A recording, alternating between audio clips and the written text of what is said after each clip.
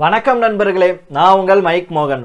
இன்னைக்கு நாம நாலு முக்கியமான விஷயங்களை பற்றி தான் பார்க்க போகிறோம் அதுல முதல் விஷயம் பார்த்தோம் அப்படின்னா சீனா இந்தியா கிட்ட தோல்வி கண்டதுனால இப்ப பார்த்தோம்னா அந்த தோல்வி தாங்க முடியாம பாகிஸ்தானை தூண்டிவிட்டு பூட்டான் கூட போய் பாகிஸ்தானை நெருக்கமாக சொல்லி உத்தரவிட்டு இருக்கு இது மட்டும் இல்லாம அப்படி பாகிஸ்தான் கூட பூட்டான் நெருக்கமாயிருச்சு அப்படின்னா பூட்டானை வந்து இந்தியாவுக்கு எதிராக திருப்புறதுக்கு முயற்சி செஞ்சுட்டு வந்திருக்கு சீனா. மேலும் சீனா என்னென்ன மாதிரியான சதி திட்டங்களை தீட்டி இருக்கு அப்படிங்கிற பத்தி இந்த வீடியோல பார்த்தரலாம் அடுத்து ரெண்டாவது விஷயமா பார்த்தோம் அப்படின்னா நேற்றைய தினம் இந்திய கடற்படைக்கு வலு சேர்க்கிறதுக்கு கடற்படையில வந்து இணைந்தது பாகுபலியான ஐஎன்எஸ் கவராட்டி.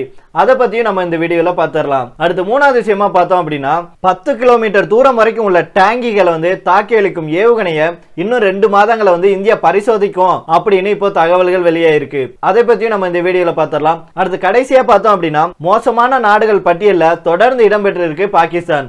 அது என்ன அப்படிங்கிற பத்தியும் பார்த்துடலாம் அதுக்கு முன்னாடி நம்ம வீடியோ பிடிச்சிருந்துச்சுன்னா மறக்காம லைக் பண்ணுங்க. கீழே இருக்கிற சப்ஸ்கிரைப் பட்டனை தட்டிக்கோங்க. பக்கத்திலே இருக்கிற பெல்லைக்கானையும் தட்டிக்கோங்க தட்டிக்கோங்க. அப்பதான் நம்ம வீடியோ போட்ட உடனே உங்களுக்கு நோட்டிஃபிகேஷன் வந்து சேரும். ஓகே இப்போ முதல் விஷயமா இந்தியாவுக்கு எதிராக நேபாளத்தை எப்படி தூண்டி விட்டுச்சோ அதே போல பூட்டானையும் நமக்கு எதிராக சீனா வந்து தூண்டி விட்டுச்சு ஆனா இதுல வந்து சீனாவுடைய முயற்சி வந்து தோல்வி அடைஞ்சிச்சு அப்படின்னு தான் சொல்லணும். அதனால சீனா இப்ப என்ன பண்ணிருக்குன்னா தனது அடிமை நாடான பாகிஸ்தானை இந்த பணியில ஈடுபடுத்தி உள்ளதாக தகவல்கள் வெளியாயிருக்கு. சீனாவுடைய திட்டங்களை நிறைவேற்ற பூட்டானுடன் நெருக்கமாக இருக்க வேண்டும் அப்படின்னு பாகிஸ்தானை வந்து தூண்டிவிட்டோம். அதுக்கான முயற்சியையும் பாகிஸ்தான் இப்போ எடுத்துட்டு வருது. இந்த சதி திட்டத்தின் ஒரு பகுதியாக பாகிஸ்தான் பிரதமர் இம்ரான்கான் வந்து வியாழக்கிழமை அப்போ பூட்டான் பிரதமர் லோட்டே சேரிங்குடன் வந்து தொலைபேசியில பேசினாரு. பாகிஸ்தானுடைய பிரதமர் பூட்டான் பிரதமருடன் பேசுவது இதுவே முதல் முறை அப்படிங்கிறதும் அத்தகைய சூழ்நிலையில பார்த்தோம் அப்படின்னா பாகிஸ்தானுடைய நோக்கம் என்ன அப்படிங்கிற கேள்வி வந்து இப்ப எழ ஆரம்பிச்சிருக்கு. இதை பற்றி பாகிஸ்தானுடைய வெளியுறவு அமைச்சகம் வெளியிட்டுள்ள அறிக்கையில பார்த்தோம் அப்படின்னா இரு தலைவர்களும் பரஸ்பர ஒத்துழைப்பு கொரோனா வைரஸ் பரவல் உள்ளிட்ட பல்வேறு பிரச்சனைகள் குறித்து விவாதித்ததாகவே கூறப்பட்டுள்ளது அப்படின்னும் இந்த நேரத்தில் கொரோனா வைரஸ் பரவலை தடுக்க பூட்டான் எடுத்த நடவடிக்கைகளையும் இம்ரான்கான் பாராட்டினார் அப்படின்னு சொல்லப்படுது. இது மட்டும் இல்லாம பூட்டான் பிரதமரை பாகிஸ்தானுக்கு பயணம் மேற்கொள்ள வேண்டும் அப்படின்னு இம்ரான்கான் வந்து அழைப்பு விடுத்துள்ளதாகவும் இப்போ தகவல்கள் வெளியாயிருக்கு. இருதரப்பு பேச்சுவார்த்தைகளின் போது பார்த்தோம் அப்படின்னா பூட்டான் உடனான பாகிஸ்தானின் நெருங்கிய உறவின் முக்கியத்துவத்தை இம்ரான்கான் கோடிட்டு காட்டினார் அப்படின்னும் அதே நேரத்துல வழக்கமான இருதரப்பு உறவுகள் வளரும் நாடுகளில் கொரோனாவை கட்டுப்படுத்துவது குறித்தும் விவாதிக்கப்பட்டது அப்படின்னு சொல்லியிருக்காங்க. பூட்டானை இந்தியாவுக்கு எதிராக தூண்டுச்சு சீனா. ஆனா சீனாவுடைய சதி முயற்சி வந்து தோல்வியடைந்த நிலையில பூட்டான் பிரதமரிடம் இம்ரான்கான் வந்து பேசியிருக்கிறார் அப்படிங்கிறது குறிப்பிடத்தக்கது. இம்ரான்கான் தனது முதலாளி சீனாவின் கட்டளைகளை பின்பற்றுகிறார் அப்படிங்கிறத இது தெளிவுபடுத்துகிறது அப்படின்னு தான் சொல்லணும். சில சமயங்கள்ல எல்லை தகராறு குறித்த அச்சத்தை காட்டி பொருளாதார உறவுகளை ஈர்ப்பதன் மூலம் பூட்டானை வந்து இந்தியாவுக்கு எதிராக திருப்ப சீனா முயற்சி செஞ்சுட்டு வருது. இருந்தாலும் ஒவ்வொரு முறையும் சீனா வந்து தோல்வியுற்றது அப்படிங்கிறது குறிப்பிடத்தக்கது. ஏன் அப்படின்னா பூட்டான் வந்து இந்தியா கூட நல்லுறவை வந்து பராமரிக்கவே விரும்புது. பூட்டானுடைய வளர்ச்சியில இந்தியாவுக்கு வந்து முக்கிய பங்களிப்பு உள்ளது அப்படிங்கிறது குறிப்பிடத்தக்கது. இது மட்டும் இல்லாமல் பூட்டானுடைய தலைமை வந்து சீனாவுடைய நோக்கம் என்ன?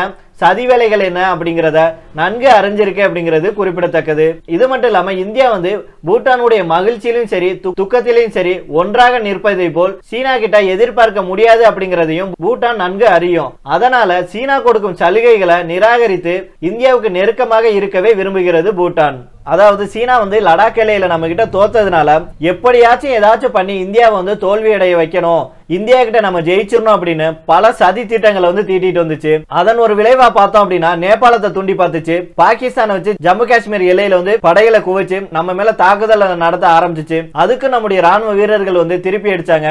இது மட்டும் இல்லாம பூட்டானையும் நமக்கு எதிராக திருப்ப பார்த்துச்சு. ஆனா பூட்டான் வந்து சீனாவுடைய சதி திட்டங்களை தெரிஞ்சு வச்சுக்கிட்டு நீ என்ன வேணாலும் சொல்லு. நான் சரி சரின்னு சொல்லிட்டு இந்தியாவுக்கு தான் நான் விசுவாசமா இருப்பேன் அப்படின்னு சொல்லி சீனா மூஞ்சியில கரிய பூசிச்சு பூட்டான். இந்த மாதிரி பல சதி திட்டங்களை தீட்டி எதுவுமே எடுபடல எல்லாமே தோல்வி ஆயிடுச்சு அப்படின்னு தெரிஞ்ச உடனே இப்போ பாகிஸ்தானை வச்சு காய்நாரத்தை பாக்குது. ஏற்கனவே பாகிஸ்தான் வந்து சீனாவுக்கு அடிமை வேலை தான் செஞ்சுட்டு வருது. பாகிஸ்தான்ல மிகப்பெரிய போர் ஒன்று வெடிச்சிருக்கு. இதனால பார்த்தோம் அப்படின்னா ஏற்கனவே சீனா என்ன சொன்னாலும் செஞ்சுட்டு வந்த பாகிஸ்தான் இப்போ உள்நாட்டிலேயே இவ்வளவு பெரிய பிரச்சனை இருக்கிறதுனால இம்ரான்கான் வந்து இது என்ன? இதை விட எவ்வளவு கேவலமான வேலையை சொன்னாலும் நான் செய்வேன் அப்படிங்கிற ரேஞ்சில் இப்ப செய்ய ஆரம்பிச்சிருக்கிறாரு. நம்ம பொறுத்திருந்து பார்ப்போம் நண்பர்களே. ஆனா ஒண்ணு மட்டும் நிச்சயம். பூட்டான் வந்து நமக்கு எதிராக திரும்பாது அப்படிங்கிறதுல நாம தைரியமாகவே இருக்கலாம் அப்படிங்கறதா என்னுடைய கருத்தாவும் இருக்கு. சரி நண்பர்களே நம்ம ரெண்டாவது விஷயமா பார்த்தோம் அப்படின்னா கடலின் அலைகள் மீது ஆதிக்கம் செலுத்த விரும்பினால் கடலின் ஆழத்தை அறிந்து கொள்வது முக்கியம். அதே போல கடல் பகுதியில எதிரிகளை கட்டுப்படுத்த வேண்டுமானால் அப்படின்னா நமது கடற்படையின் வலிமையை வந்து கூட்ட வேண்டும். அந்த வகையில தான் இந்தியாவுடைய பாகுபலி என கருதப்படும் இந்திய போர்க்கப்பலான கவரட்டி இந்திய கடற்படையில வந்து மு- முறையாக இணைக்கப்பட்டது. இதை வந்து இந்திய ராணுவ தலைமை ஜெனரல் மனோஜ் முகுந்த் நரவானே அவர்கள் வந்து இந்திய கடற்படை கப்பல் கவரட்டியை வந்து விசாகப்பட்டினத்தில் உள்ள இந்திய கடற்படையில வந்து இணைச்சாரு. அப்போது அவர் என்ன சொன்னார்னா நீர்மூழ்கி கப்பலை கண்டறிஞ்சு அதை தாக்கும் அமைப்பை கொண்ட இந்த உள்நாட்டு போர்க்கப்பலான ஐஎன்எஸ் கவராட்டி பல வழிகள்லையும் மிகவும் சிறப்பு வாய்ந்தது அப்படின்னு சொன்னாரு. மேலும் இது வந்து எதிர்நாட்டு ரேடார்ல சிக்காத போர்க்கப்பல் அப்படின்னும் இதனுடைய வடிவமைப்பை கடற்படை வடிவமைப்பு இயக்குநரகம் தயாரித்தது அப்படின்னு சொன்னாரு. இதை வந்து கொல்கத்தாவின் Garden Reach Shipbuilders and Engineers நிறுவனம் தயாரித்துள்ளதாகவும் அவர் மேலும் சொன்னாரு.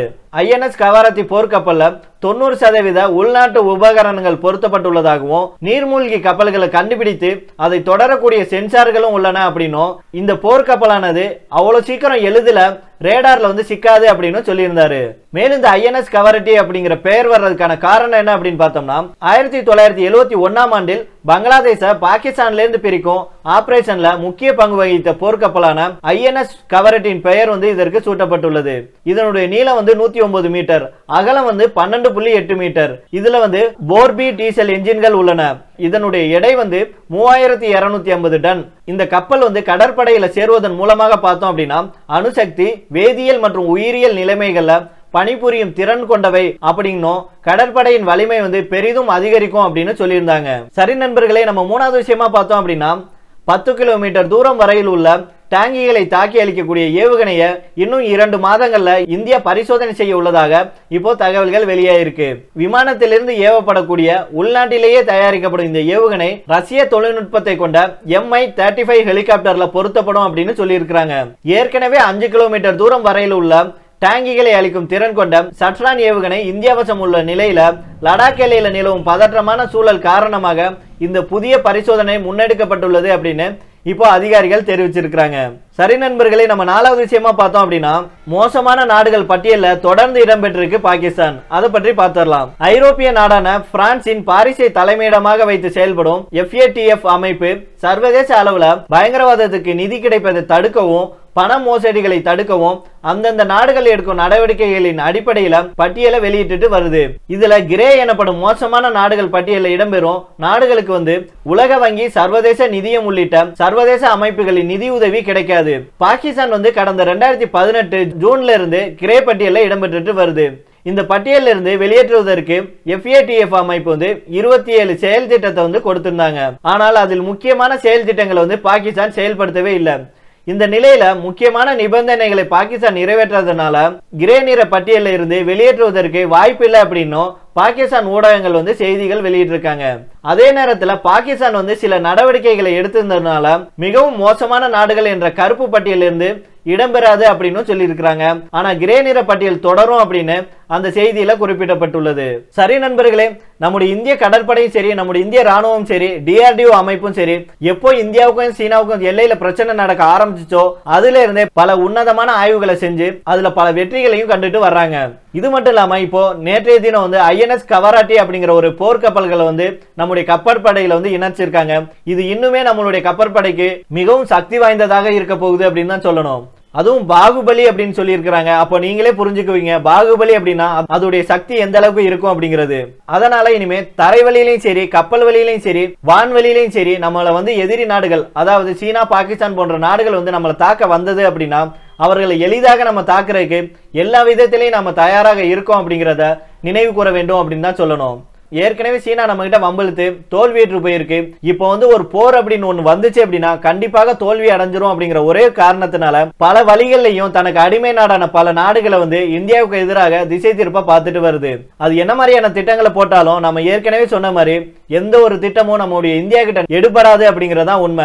சரி நண்பர்களே இதை பற்றிய உங்களுடைய கருத்துக்களையும் கீழே உள்ள கமெண்ட் பாக்ஸில் சொல்லுங்க. மீண்டும் நாளை வேறொரு செய்திகளுடன் உங்களை சந்திக்கிறேன். நன்றி வணக்கம்.